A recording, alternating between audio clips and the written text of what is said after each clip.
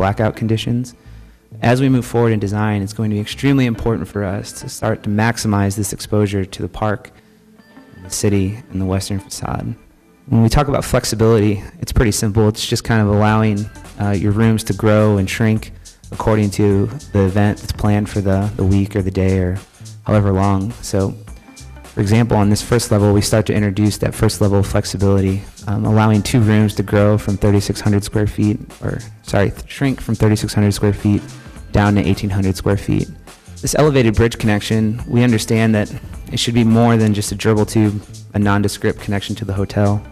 It needs to be beautiful, the potential for some program, maybe a restaurant or a cafe, maybe even leasable space up there, and provide that cohesive experience from the hotel to the bridge to the convention center. We really wanted to read as one cohesive first class experience. So now we're up on the third level.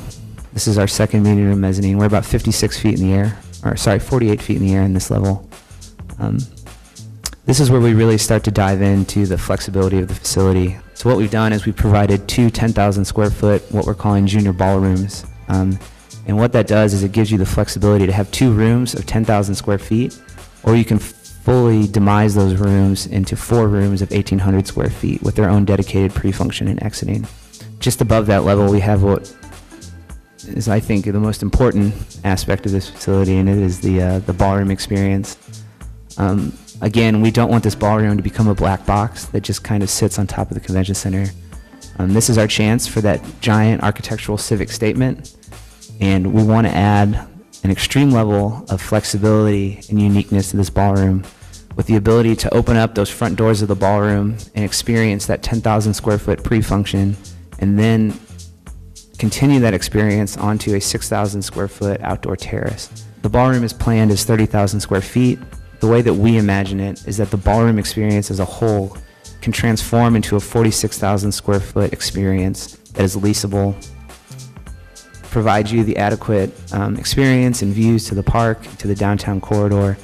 it can really start to be that, that unique um, uh, event space that the city really um, strives to want or need. Expansion is, is extremely important. We don't know exactly what the market is going to be like in 10, 15, 20 years, but just providing uh, that level of uh, adaptability uh, in the convention center so that when the city does grow and does feel the need to expand, um, the expansion is, is, can be done cheaply and uh, uh, cost effectively um, as possible. We understand that there's going to be vehicular drop offs, meeting space, dining and retail. Um, you know, public public areas, convention center specific areas, all this stuff is going to be on our site. And how we really start to maximize and design this to be a cohesive plan is going to be important as we move forward.